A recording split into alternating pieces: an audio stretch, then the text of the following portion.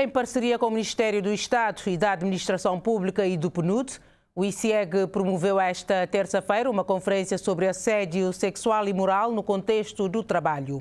Uma iniciativa que pretende disseminar conhecimentos sobre o tema e as consequências desta prática, que é considerada um crime público ou semipúblico no ambiente laboral.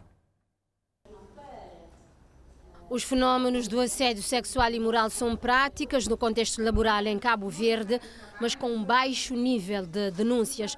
A afirmação é da presidente do ICIEG, a instituição que tem no seu plano anual a questão do assédio sexual e moral e decide trazer o tema à discussão pública para disseminar conhecimentos e falar das consequências desta prática no contexto de trabalho. Nós sabemos que é algo que existe, apesar de haver um, baixo número de denúncias, então precisamos, por um lado, informar, saber o que é que é assédio moral e sexual, e por outro lado, eh, também tratar sobre os melhores mecanismos de, de, denúncia e depois de tratamento dos próprios casos. Para além da informação, nós queremos abrir um espaço de debate, um espaço aberto, de troca de ideias, de, de depoimentos, de tudo aquilo que as pessoas acharem pertinente falar sobre o assunto. Depois, na parte da tarde, teremos um painel sobre uh, os efeitos psicológicos, não é? O, aquilo que a vítima sofre, aquilo que quem a rodeia, as consequências físicas e psicológicas do assédio e também o que devemos fazer para prevenir e tratar estes casos. O assédio sexual e moral no espaço laboral está enquadrado na lei cabo-verdiana como um crime VBG.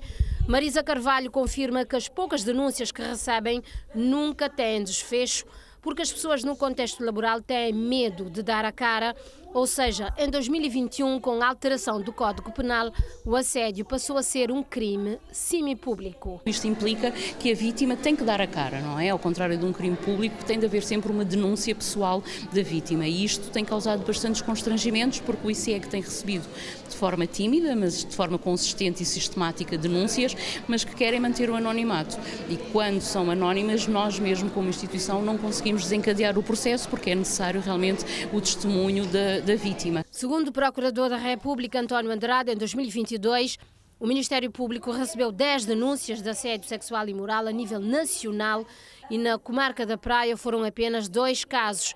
Na conferência, o Ministério Público fala do quadro legal existente e da evolução da legislação desde a era colonial até hoje. Efetivamente, um crime consta do catálogo nacional desde 2003. O Código de 2003 já prevê esse tipo legal com a revisão de 2021, tanto alargou-se o âmbito, tanto para eh, aquelas pessoas que quando não se não conseguem, tanto o favor sexual que que o tipo prevê e passam a perseguir as vítimas. Portanto, a lei prevê essa situação e desse alargamento de 2021 e também o número 3 do artigo 152 veio a tanto agravar o crime quando a vítima tenha a idade compreendida entre 12 e 18 anos de idade. Diante deste cenário, o ICIEG promete ações de prevenção e sensibilização dentro da administração pública e o governo se compromete a endurecer a atuação com punições graves, como penas de prisão, e fazer o enquadramento do fenómeno de uma forma mais abrangente.